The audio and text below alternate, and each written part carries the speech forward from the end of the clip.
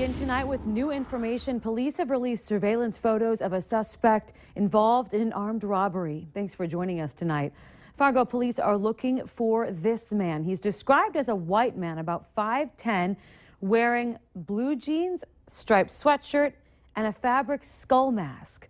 Police posted the pictures on their Facebook page and say the suspect is considered armed and dangerous and should not be approached.